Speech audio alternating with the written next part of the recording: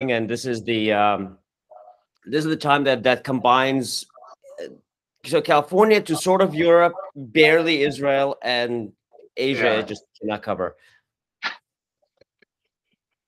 Asia, it's really late.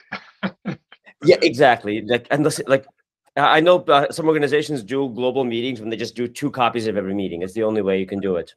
Uh, uh, Yeah. Right. actually, I'm sorry, India. India, you, if they stay up really late, they can still catch them like this yeah. because we periodically have uh, such meetings.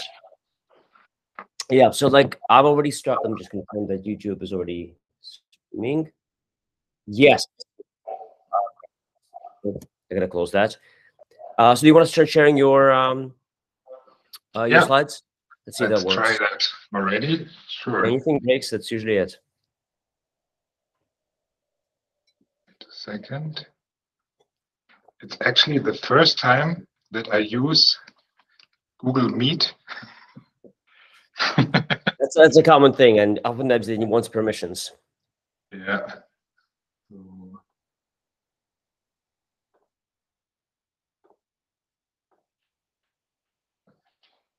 Can you see the screen? Perfect. Yes, that works beautifully. Good. Now I can't see you anymore, I know. That we're figuring out- but I, I can switch here to another window. Okay. Yeah. Worst case, what happens is I'll ask questions uh, on you know my, m for myself and for anybody else who you know uh, posts Okay. in. Uh, so you know I, I can interrupt if that's okay. Would it be okay to interrupt your talk while you're speaking? Yeah, yeah, sure. No, that's that would be nice. Then it's more interactive. Because And also the the odd not only Google Meet is new for me, also the audience is kind of new for me. yeah, it, it's different because previously it was just Alphabet, uh, and that's also a bunch of machine learning folks and It's also different. yeah, and now it's public, so now everybody has on, on LinkedIn, so we might get people who I, I, I was not expecting to see. We will see. Yeah, exactly. Exciting. Yeah, cool. Yeah, and actually, this is uh, yeah. I mean, what I'm hoping with this series is to like. What I keep noticing is that a lot of modeling uh, topics rhyme. Like a lot of people who have similar problems don't realize a different field already has solutions. Like especially between the physical modelers and like the public health and socioeconomic people who's have their data is worse. So they have to do a lot of data cleanup and controls and so on that Yeah, yeah, in physics you can get away with ignoring. yeah, yeah.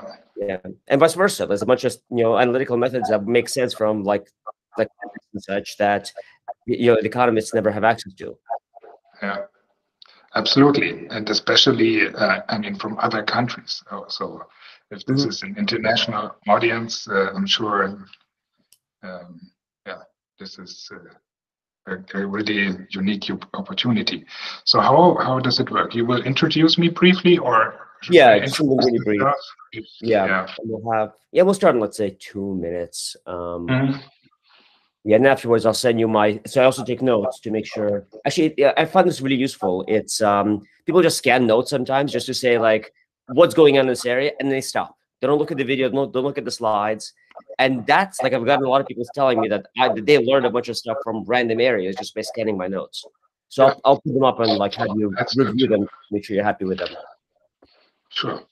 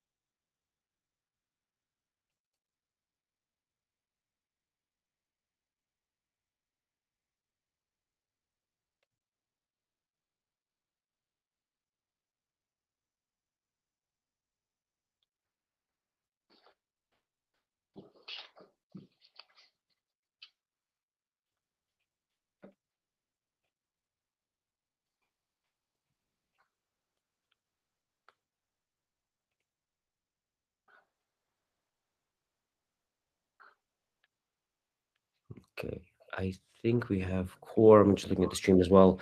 Okay, so one second. Let me start the recording, and then I'll just give you a quick introduction. It'll ding when it uh, starts. All right, well, welcome everybody. I'd love to introduce Matthias Mauder from um, TU Dresden, who works on uh, you know the interaction between the atmospheric processes and the built environment, and like all the complex turbulence flows you know involved. You know, welcome, Matthias. Yeah. Okay. Thanks, Greg, for the introduction. You see the title of my talk here.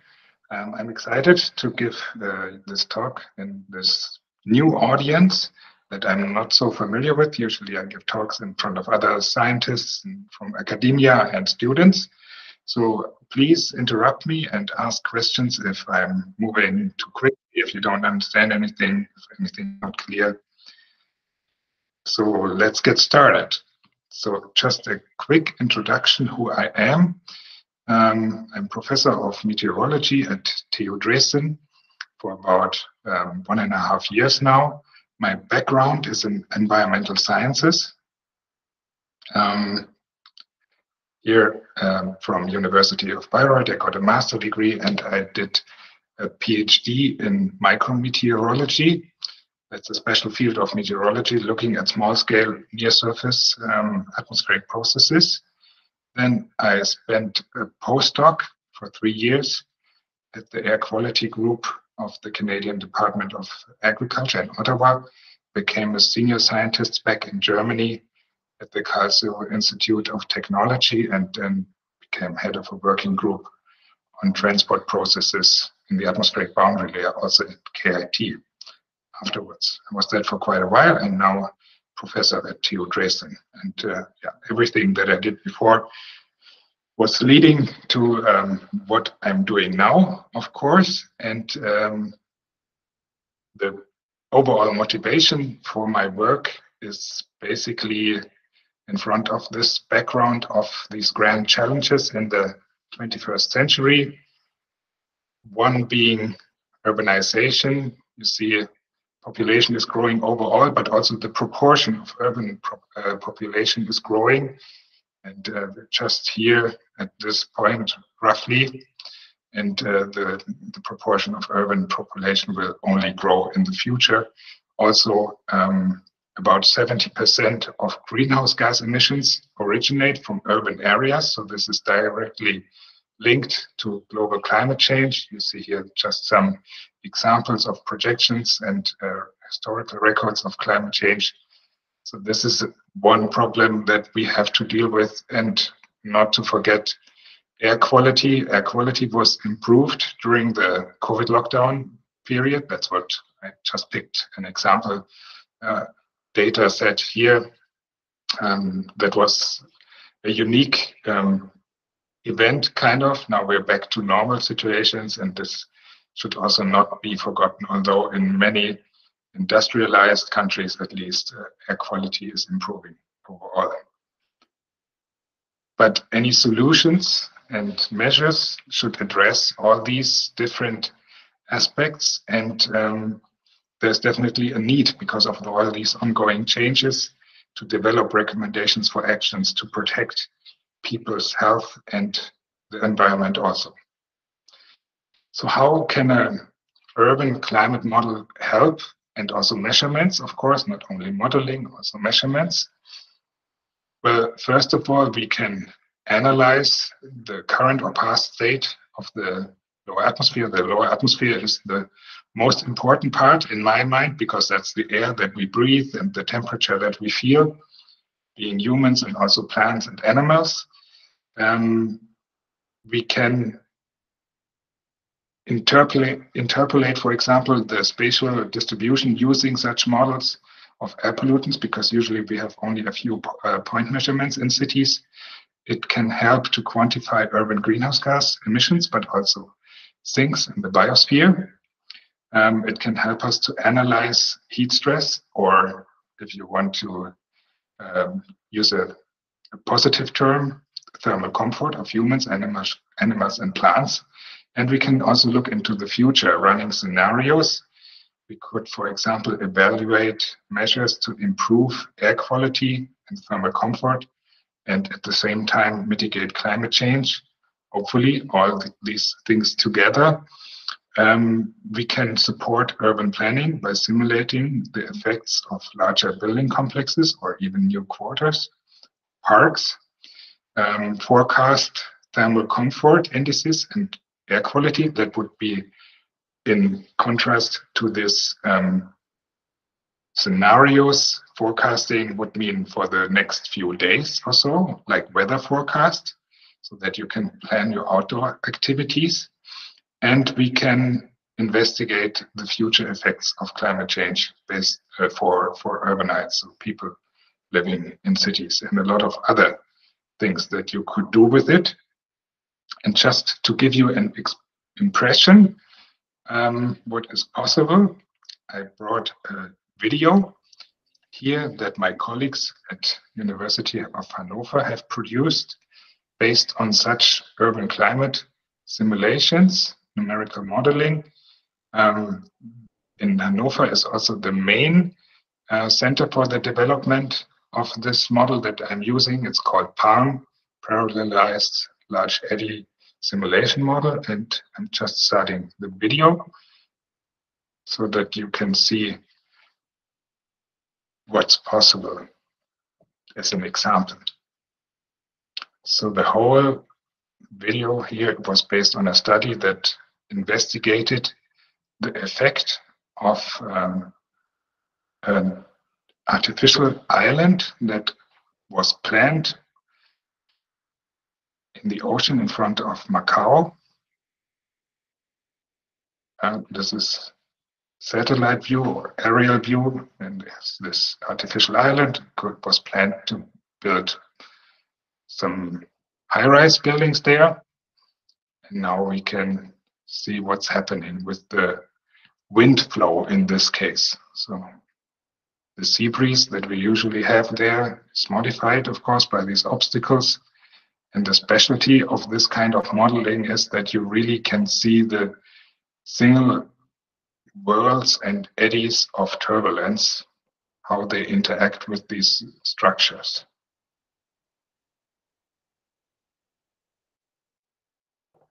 Um, what's shown here is actually vorticity in different colors. It's of course a 3D model, as you can see.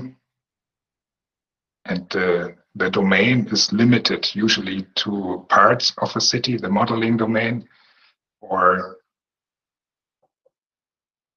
if you need, uh, if that's really necessary, usually also an entire city can be covered, but not an entire country or parts of a country. That's just computationally not feasible, even on big supercomputers. Okay. So let's continue with the slides. Um, I was also collaborating with these colleagues in Hanover and also from other institutions in Germany and in Europe mostly within this project called Urban Climate Under Change. And we added some new features to this PALM model it's now called PALM-4U for urban applications.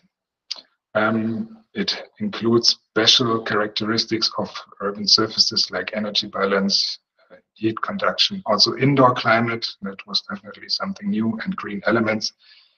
Um, the radiation, reflections, and shading inside the street canyon is now considered. Uh, there is a multi-agent system included, so we can simulate agents like people going to work or wherever business they are following. Um, we can do a biometeorological analysis for these agents. Um, there's vegetation, there's special energy balance model for the vegetation. Also the momentum sink in the vegetation and shading is considered. There is also soil in this model now, uh, considering the roots, the depth of the roots, soil moisture, soil temperature, there's a number of technical solutions, for example, um, this LES and LES nesting, so that you can refine your grid at some focus area. It can be driven by mesoscale like weather forecasting models on a larger scale so that you can run um, realistic scenarios. There's also a RANS mode. I will explain later what that is and also a more or less user-friendly GUI. With my colleagues at KIT, I was responsible for the development of this uh, chemistry module, not only at KIT, but also at Freie University uh, in Berlin, um, which includes transport of chemical species, reactions, photolysis, emissions, and also aerosols. Here are some publications if you want to read that in more detail. So question, this yes. looks like an entirely multi-physics, and in fact, when you talk about agent-based models, like many heterogeneous models kind of a thing. I guess how broad of a scale are we talking about in terms of coverage and how many different models are involved? So that is all one modeling system, and we have done the largest simulations with this model on a scale of about, I would say, 40 by 40 kilometers. And okay. the grid spacing is then up to one meter. Okay. Does this... Okay, so then if, yeah, so I guess I'm going for, these are, let's say chemistry. These are your chemistry models, not uh, taking an external one. Is that fair?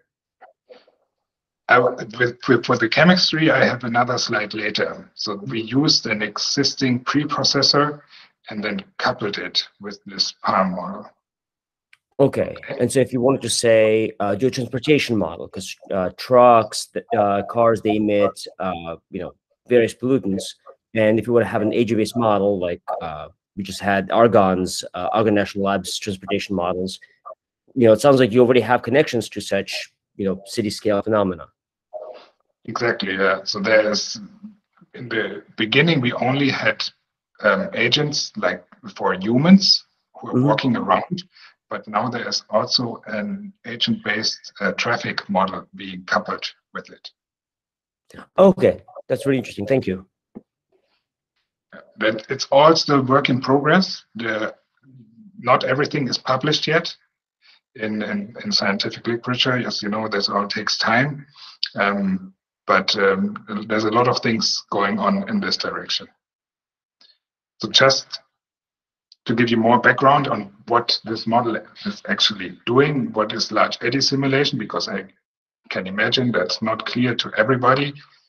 Um, in principle, we have here the actual flow in the atmosphere, can also be in a pipe, wherever. And that is turbulent. That means we have these whirls and eddies of different sizes. Okay, and then we have also some mean flow that is indicated here by the larger or thicker blue arrows. In the um, large eddy simulation model, we apply a gridded structure to this modeled flow and discretize basically these um, whirls and eddies and also the mean flow. As you can see also, as is indicated in this schematic. Not all worlds survive this procedure. Not all eddies survive. The smallest cannot be resolved, and then they need to be parametrized inside each of these grid cells. It's just not possible to cover the entire range of turbulence in, in such a numerical grid. The, the computational um, resources, even of the biggest supercomputers, don't allow that for such big model domains that we are talking about. And then in addition to the turbulence in each grid cell, we also have um, equations that represent the chemical processes, the atmospheric chemistry processes. For example, what is relevant in cities is this reaction between NO2 and NO, ozone together with um, radiation. Okay, um, and in general, when it comes to computational fluid dynamics, that's what we are doing here basically, but not only, but that's the atmospheric transport at least and processes. There is the possibility to do large eddy simulation or Reynolds average Navier-Stokes um, models. I try to explain here what is the difference here on the right hand side. You see at one glance, at one glance, what is the difference in the outcome. With the LES, you actually see the turbulent fluctuations. And with the RANS model, you just see averaged flow fields. So you miss the extremes that you definitely see here in the LES. So that's definitely um, usually a better representation of real world processes. So on the left hand side, I also try to explain the differences um, using the turbulent spectrum. So we have on the y axis the um, turbulent energy. Um, so it's kinetic energy, basically, turbulent kinetic energy. We have on uh, the x axis the wave number in logarithmic scale, both axes, and then you typically get such spectra. We have different ranges in the turbulent spectrum. There's a maximum here, the production range. This is where most of the turbulence is generated, and then it is um, transported into smaller and smaller eddies. There's this energy transfer along this inertial subrange, and then towards even minimal tiniest motions into dissipation so that into heat that is just then motion of single molecules and, Oh, and- with and DNS? yes Oh, what, what is DNS? dns is direct numerical simulation so with direct numerical simulation we resolve all scales i didn't show a picture here but it's also shown here the thing is, this is only possible uh, for relatively small Reynolds numbers. And small Reynolds numbers means, um, yeah, smaller modeling domains. It's basically not really possible for atmospheric flows. It would be possible for confined flows inside a pipe or some sort of container. Um, but in the in the free atmosphere, in the atmosphere, we have very tiny um, eddies of on the scale of millimeters, and then we have eddies on the scale of kilometers. That's a huge range of scales. It's just not possible to cover that with the DNS. So with RANS, you basically resolve only the very largest eddies and parameterize most of it. And with LES, you at least try to resolve most of the transporting eddies and whirls and only parameterize a smaller portion. Okay, there is this green line indicating this spectral filter um, that's distinguishing between the resolved flow here on the left and the parameterized or yeah, modeled flow inside the grid cells on the right. Okay. So is it reasonable to think of uh, LES as as being direct solve, but with a uh, with a coarse grid, or are there other computational tricks? No, the the the main thing is that the grid is coarser than for, uh, for DNS. Yeah, that also means that the time step can be longer. We're still talking about time steps of less than a second usually. Yeah, but we don't have to go to like 20 or even 100 time steps per second. Imagine how much um, computational resources you would need just to simulate one day, and then you have um, yeah trillions of grid cells where you have to solve these equations. Just not feasible. Uh, and LES is So kind LES of a- range like, sorry. oh, sorry. Uh, so L, uh, LES sounds like uh, it's like 10 centimeter by, you know, 50 or 100 millisecond resolution. Um, yeah, I'm not sure if that, yeah, that, we usually are even coarser. Let's say one Okay. meter. Yeah, Mhm. Everything below 100 meter grid spacing is already called LES, Got it. and uh, and then you have on the order of seconds grid uh, time steps. Okay, thank you. The thing is that you always have to cover kilometers of uh, modeling domain also at the same time. So the high resolution is not really a problem, but high resolution at covering such a large scale um, in the modeling domain, that is usually the problem. So now here's a slide about the implementation of this atmospheric chemistry and the LES. So the LES is shown here. Then there is the chemistry driver that's coupling everything. And um, we use it, we use the existing kinetic preprocessor, KPP. You can find more at this link about it. That's basically generating code, Fortran code. The whole model is written in Fortran, like many weather forecasting and atmospheric models. Uh, so it's optimized for supercomputers, and there are also historical reasons why Fortran is used because it's quite tedious to program.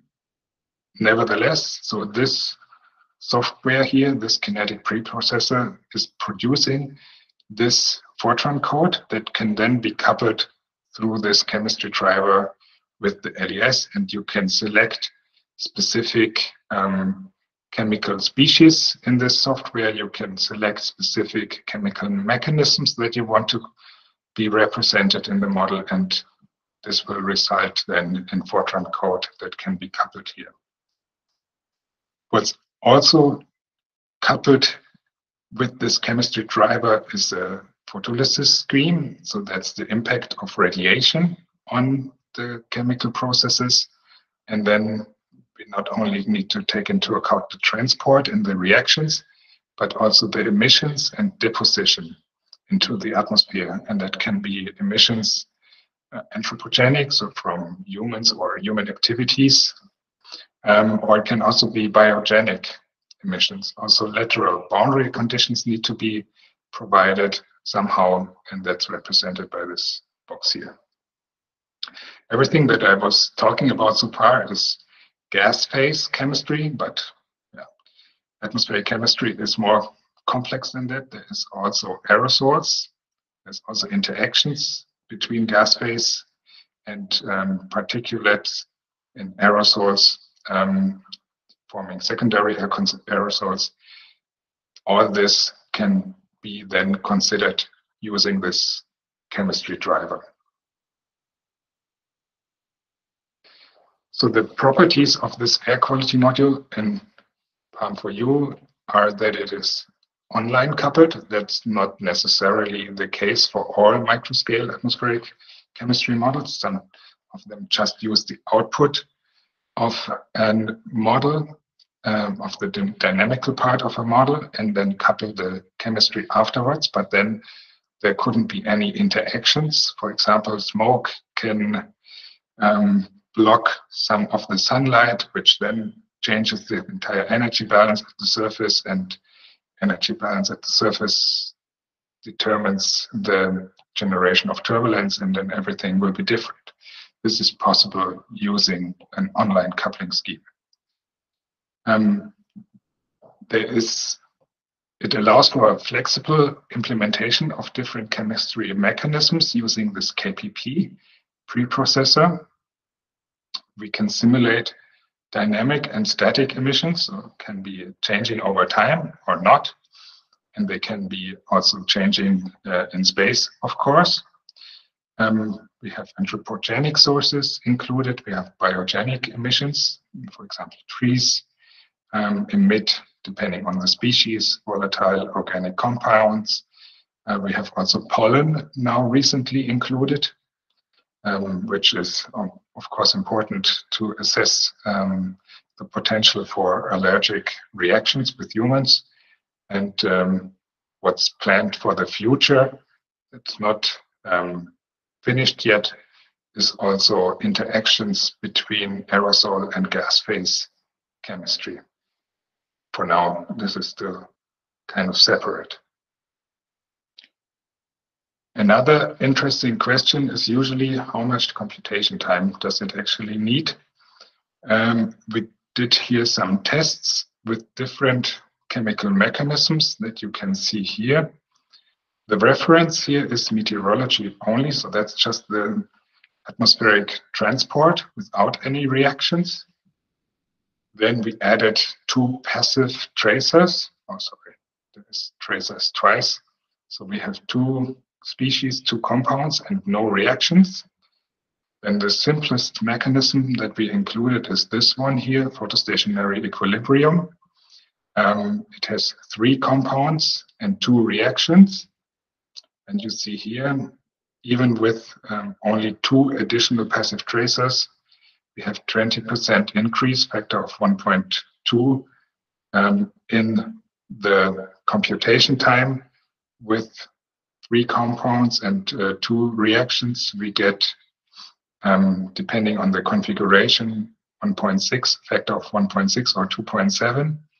Then there is this simple um, smog, simplified smog algorithm um, with nine compounds. You already end up with a factor of 4 times 4.4 and the most complex mechanism with uh, 32 compounds and 81 reactions, which is still not really realistic because in reality there's even more reactions and more compounds reacting with each other leads then to 15 times longer computation time.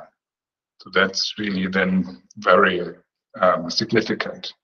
Nevertheless, it is all possible. It all depends on the size of the domain, the grid spacing, and, and the demands of the application, and of course the computational resources that you have available. So, question about the applications. So, when you say smog, that's I, I, get that that's a common phenomenon. But then, the more complex things, are we talking about uh, factory fire? Is that something that requires so much precision, or more routine things like vehicle emissions? At the moment, there's only vehicle emissions included. Fire would also be very interesting, but it's not possible at the moment.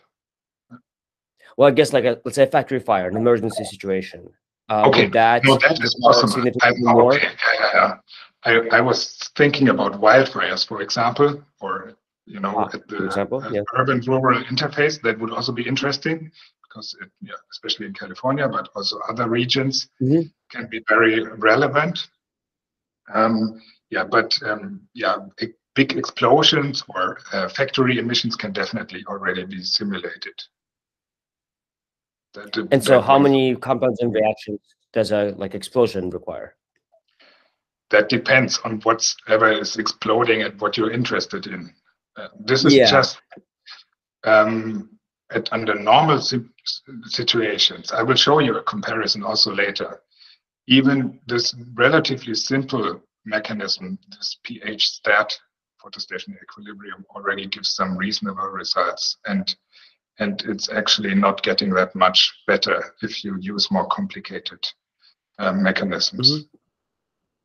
I, that's okay. why it's always important to compare your your model with measurements and then you can tell how much effort is actually needed and how much computation time. But just wanted to show that everything is possible in principle, and then we have to see what we actually need. So now I come to a, a, case study for a part of Berlin. So we, there are also simulations for the entire city of Berlin, which is much larger. This is just a roughly two by two kilometer part of Berlin, just west of this Tiergarten Park, if anybody of you knows this. There's also a big roundabout here. Reuter Platz is also relatively, yeah, large road with a lot of traffic here going through this square. And that's why we found it interesting. And I tried to do, that was already a few years back, to do a video. No, I can't started somehow. Let me see. This is possible now in Google Earth. So we overlaid our simulation results with the 3D view of this area in Google Earth. You see it's jumping a bit. That was not so ideal. Nevertheless, it, yeah, it shows how these turbulent structures of high concentrations of NOx in this case travel through these street canyons. And it gives them a relatively nice visual impression what's going on. Um, scientifically, more interesting is probably this animation uh, because it's not jumping so much. You really see the continuous development of the flow in the street canyons. This is now time step 0.1 seconds. Grid spacing is one meter, uh, four meters, sorry. As I said, about two by two kilometer modeling domain and this relatively simple mechanism photostationary state.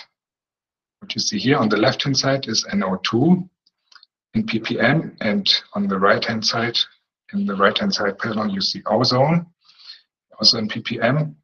If you look closely, they just show inverse patterns. So whenever you have high um, concentrations, let's say here in red colors, you have green colors here in, in the ozone um, because they're reacting with each other. It's natural and has to be like that. It is also in reality like that, not only here in this um, simulation, that wherever you have higher concentrations of NO2, you have lower concentrations of ozone and vice versa. It's always directly connected. Also other species involved, but there's always this direct connection. You also see that in these narrower streets, higher concentrations can develop in wider streets and also in this open, relatively open square. The vertical mixing um, helps to reduce the concentrations during the day. Also depends on the time of the day during noon and afternoon, you have usually more intense mixing. That's also something that you can study with such simulations. So this is basically just an horizontal cross-section of our three-dimensional simulation. We can also do a vertical cross-section. And this is just a still image. It's not animated. A snapshot of uh, the situation at 9 um, in the morning on this nice summer day in 2017. And you see here how this atmospheric boundary layer is about, say, 700 meters high. This is where the layer that is in direct contact with the surface, the white pixels here at the bottom are the buildings along that cross section. And you see how here on the left hand side, NO2 is emitted. And you see these plumes being emitted from the streets, mostly from traffic, and it's reacting uh, with ozone. So again, whenever you have higher concentrations of NO2, you have lower concentrations of ozone, and then you see this turbulent, um, we call it entrainment layer at the top of the boundary layer, this sharp um, change in concentrations that's caused by this inversion. It's kind of a lid um, because of stable, stably stratified um, atmosphere, increasing temperature at that level um, that prevents mixing further up into the atmosphere. And now there is a time height cross section depicted on these plots. Time is on the x-axis, y-axis is the height. So we see the development of this atmospheric boundary layer over the course of the day. It's very shallow, only let's say 500 meters at night.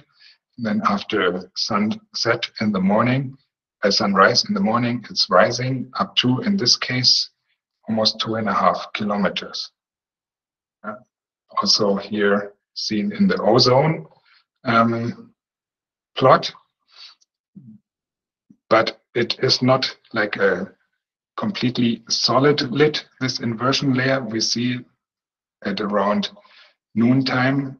Um, we have ozone being mixed downward into the boundary layer. See this red area suddenly being mixed until it reaches the surface almost. And while it is mixed downward, this ozone, high concentrations of ozone, it is reacting with NO2. So it's also kind of destroying NO2. So we get lower concentrations. And only after sunset in the evening, higher concentrations of NO2 can then build up again.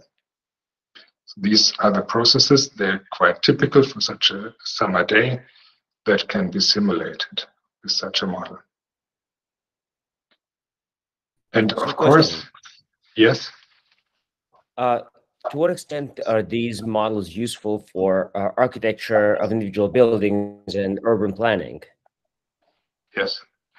So in, in general, yes. But first of all, we want to simulate, in this case, the, the actual situation as it is at the moment so that we gain confidence into our model.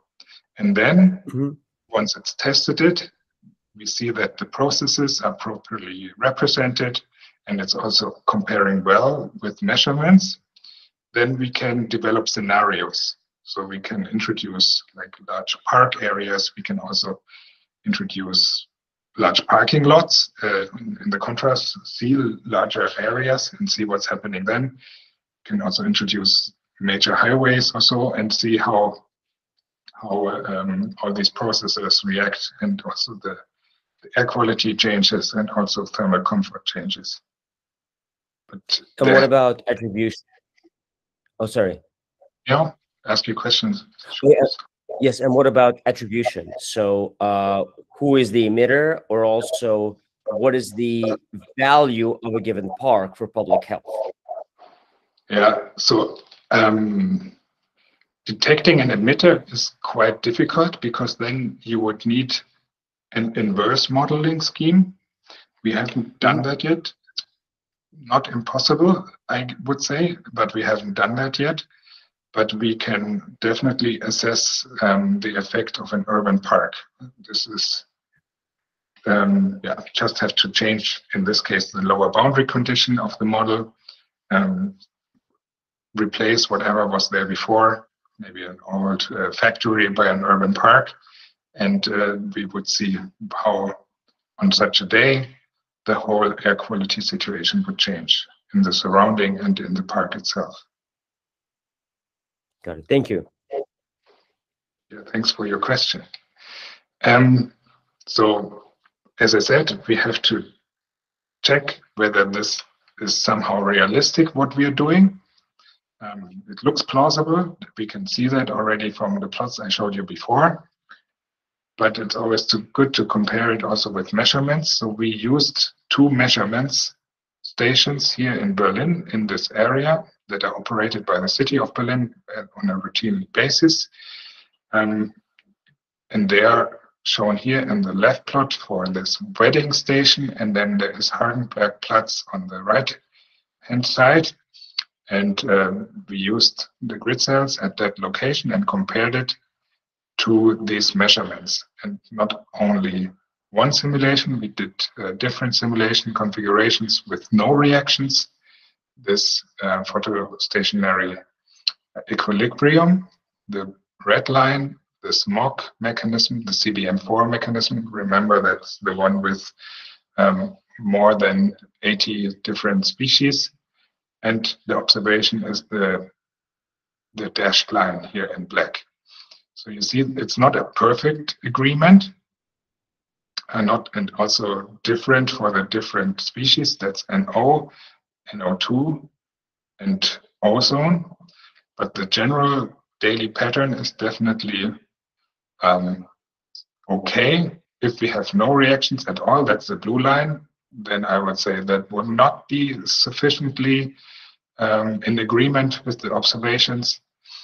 But and the CBM4, yes, is, is the one that's closest. That's also the more most um, um, yeah, computationally intensive simulation. It's the one that's closest with the observations.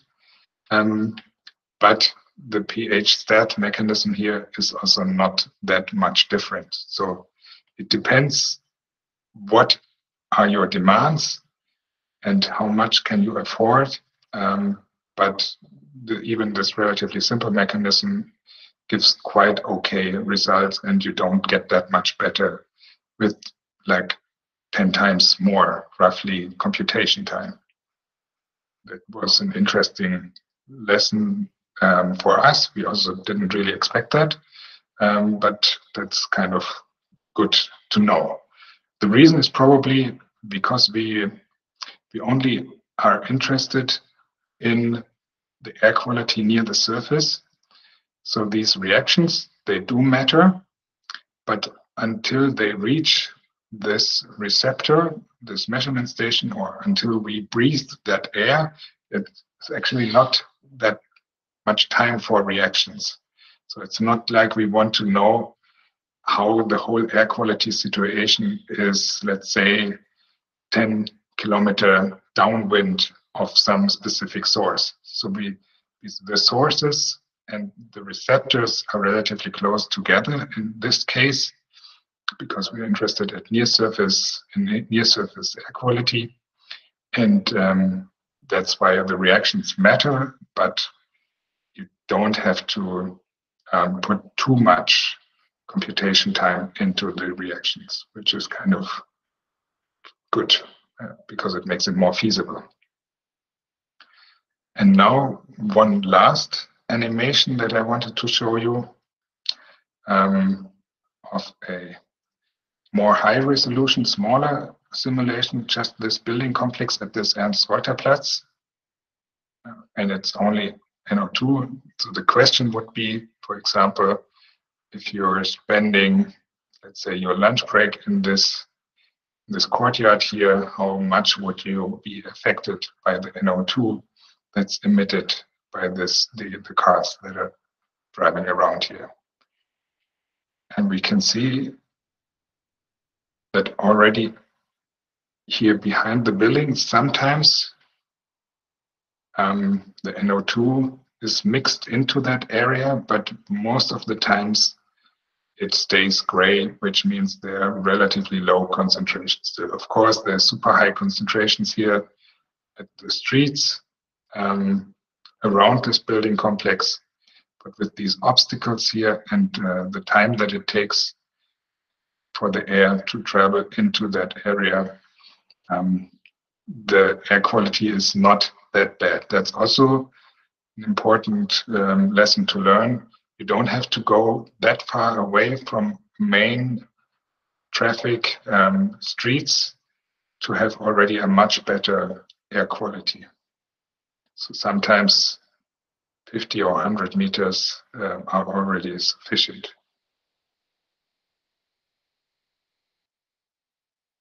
Okay. So let me summarize. Um, this model, Palm for You, PALM for Urban Applications, is a turbulence and building resolving LES model for urban applications. It allows for a detailed simulation of the reaction, attraction, and deposition of atmospheric trace gases and aerosols. Um, this PALM-4U model has great potential as a tool, and it's only potential really so far. There have not been that many um, simulations in that direction.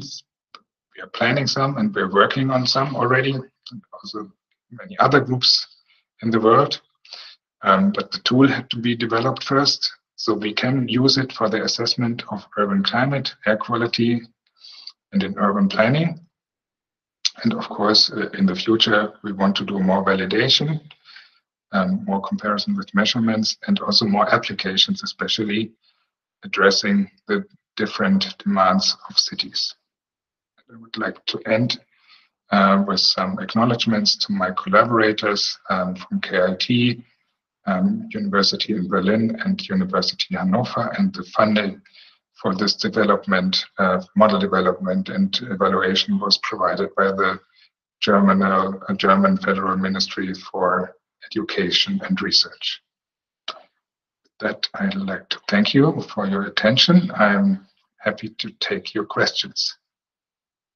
Fantastic. Well, thank you very much. Um, so the first question would be kind of the uh, wider application. So we talked about connecting to traffic, but it sounds like in your case, you connect you like in that building simulation, you just assume a certain pattern of emissions from cars. So then what would it take to actually have, you know, simulated cars, uh, different populations of cars connecting to transport models? I mean. So yeah, the, so as I understand your question is uh, where do we get the emissions from? Uh, the traffic emissions, Yeah, right? And there, there are different possibilities. You can just use, if you not don't have any other information, it just assumes based on the street type um, a certain amount of traffic and uh, emissions that are related to it. Then in this case, we had actually traffic data, traffic count data, automatic traffic count data from the city of Berlin. So we know how many cars were driving around there. And then we relate those um, number of cars with typical fleets of vehicles at that time. And then um, emissions can be calculated. And then for um, not actual simulations, but um, all kinds of scenarios, but also in general, it's possible to use a traffic model, agent-based traffic model um, that also outputs emissions that are then uh, coupled to this modeling system. Okay, that makes sense. And then are there, so I can see how, let's say SUMO, which should be able to give you pretty detailed scenarios. Um, so have you coupled with any uh, agent-based traffic models? And is it like a one directional coupling or is bidirectional useful as well?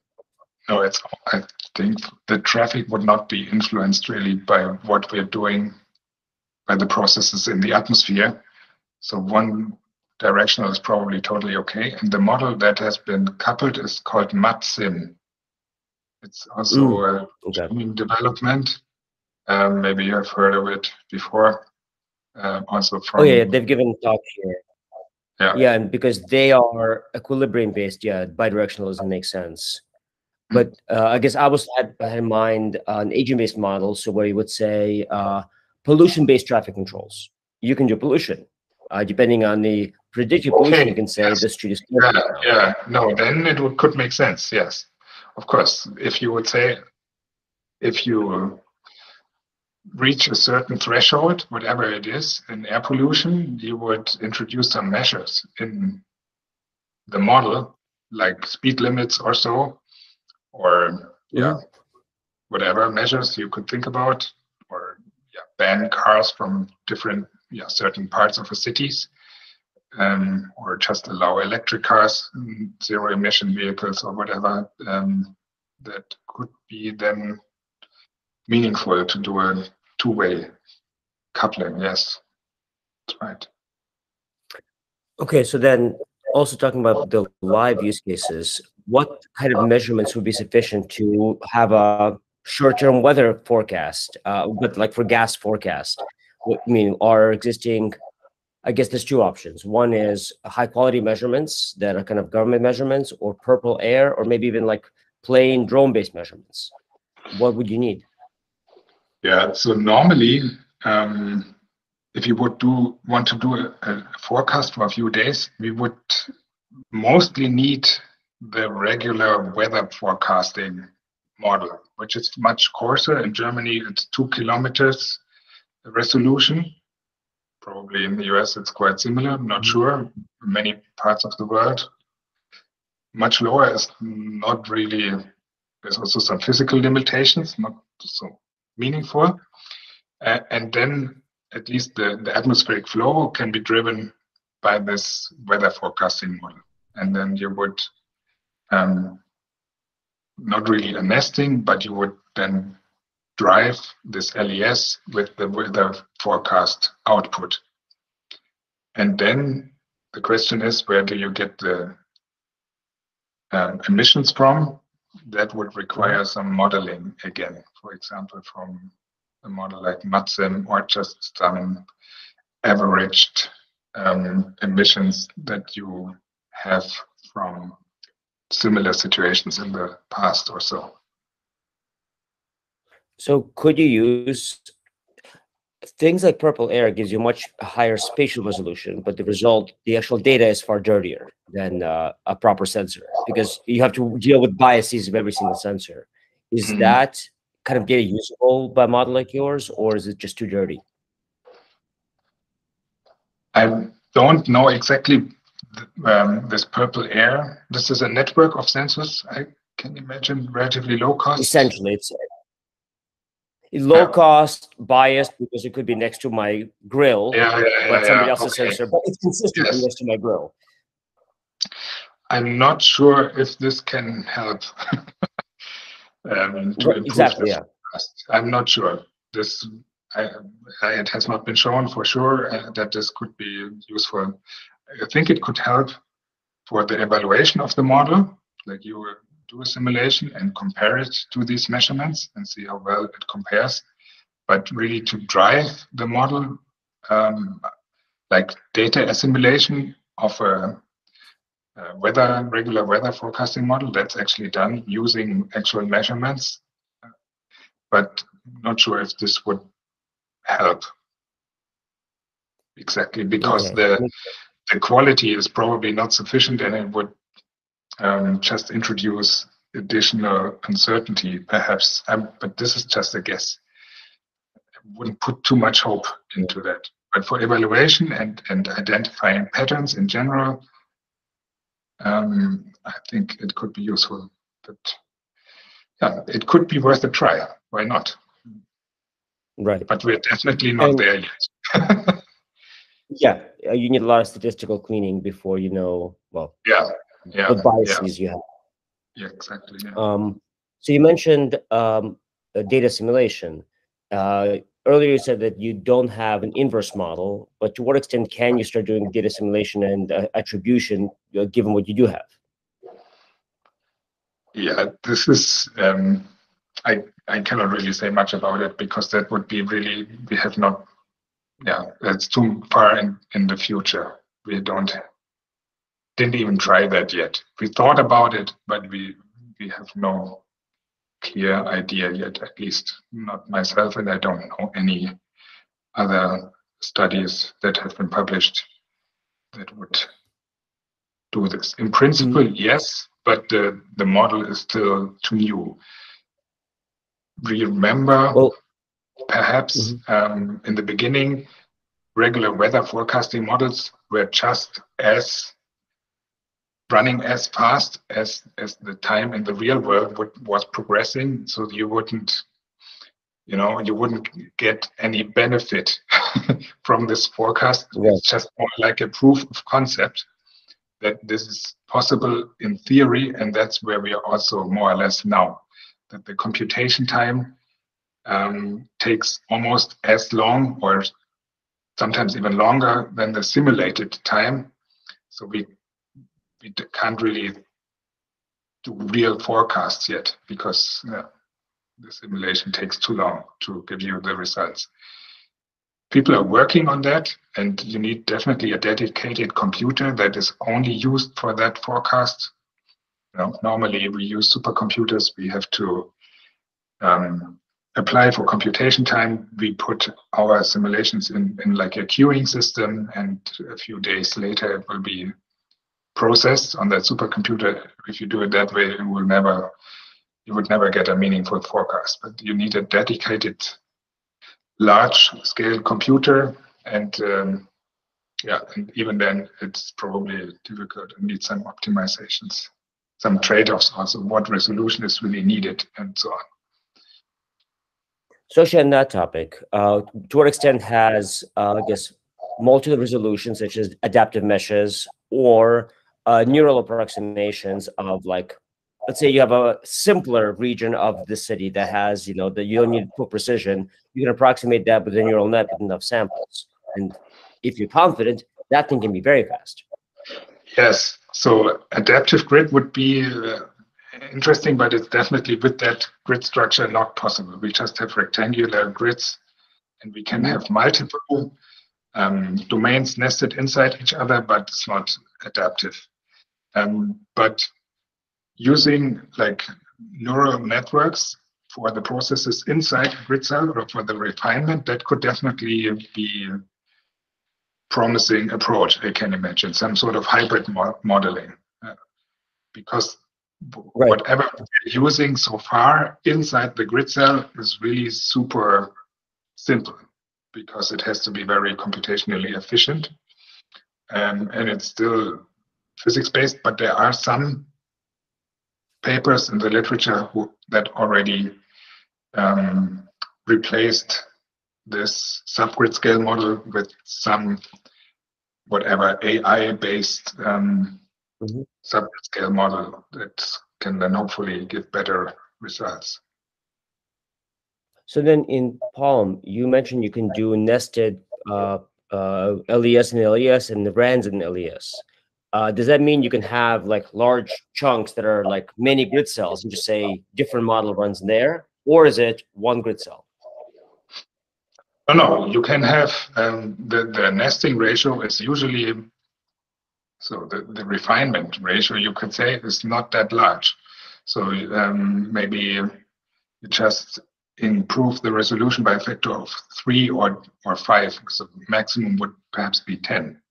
So definitely you would have um, not just inside what grid cell, but you have just part of the city or sometimes the, the whole modeling domain, but not the whole vertical extent, um, having a higher resolution. So um, the the size or lower or lower that would also be possible. Yes. So now actually that suggests you can do hierarchical uh, adaptive mesh refinement. As long as it's hierarchical. hierarchical. Yes, it has to be hierarchical. And it's not um, event-based adaptive grid ah. refinement.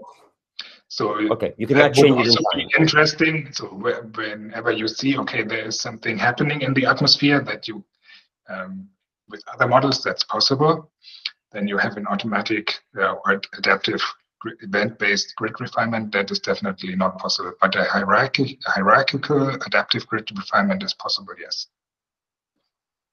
Okay, and actually that sounds promising, especially when you do have various uh, ML approximations. You can just put them in in the easier parts. Adaptive would be nice yes. because then you can say when the wind is low, use the approximation. When it's high, don't use it. Yeah, yeah, yeah, yeah but that's not okay makes sense possible now well yeah well great well thank you very much this is fantastic it was extremely valuable yeah thank you um, and yeah if you people have more questions they can send me an email um, yes my Absolutely. email address on the last slide and um, happy to continue this conversation also offline awesome well fantastic thank you very much thank you for your time you're welcome. Bye. Bye. Have a great day. Bye. Chao.